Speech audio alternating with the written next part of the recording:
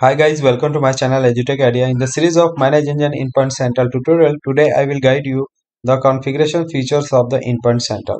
So what is the benefit of this tool? Let's start friends. First we need to log in the Endpoint Central. I have already logged into the Endpoint Central and go to the configurations tab and go to the click on the configuration go to the win for windows here we can multiple configuration you can see here we can create here the alerts to the endpoint machines.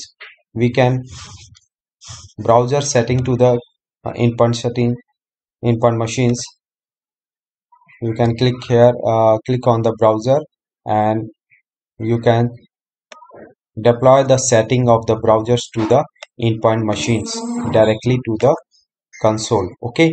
And you can also uh, distribute the certificate to the endpoint machines as per user or as per your computer configuration. You you can also create a common folder redirect to the endpoint machine. You can also deploy the custom script to the user configuration or the computer configurations. Okay? You can also display the to the endpoint machines. You can see here what display we can here. You can retain existing settings retain existing settings font dpi you can set the resolution display all those things centrally to the endpoint machines. Okay? So what we can other things we can do here we can uh, drive mapping to the endpoint machine. We can create environment variable also and settings to deploy to the endpoint machine through centrally to multiple machines you can deploy uh, these settings through the manage engine console. Folder file and folder operations you can deploy. Firewall setting you can also deploy to the endpoint machines.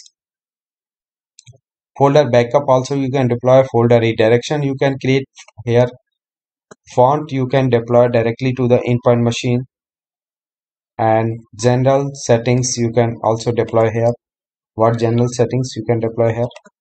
I'm showing you.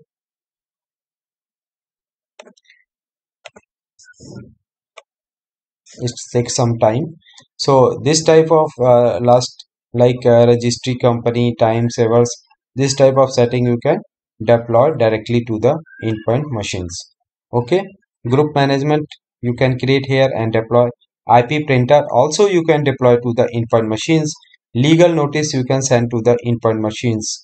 Launch application although you can also launch application to the endpoint machines directly to the console. You can also install or uninstall patches to the endpoint machines. Okay?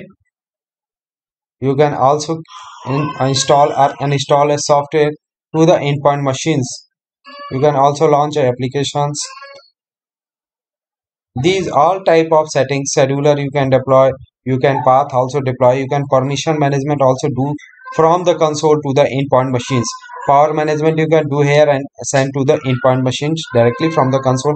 Registry you can deploy registry setting to the endpoint machines. Services you can stop or start through the console. You can also enable wi-fi disable wi-fi settings to the endpoint machines from uh, directly to the console. You can create here the user management to the endpoint machines. You can also create a shortcuts to the all the endpoint machines sent to directly to the console to the endpoint machines. You can also create a configure share printers or scheduler to the uh, deployment to the endpoint machine. So these are the configuration settings benefit of these tools. If you like this video please like comment share and subscribe my channels. Thanks for watching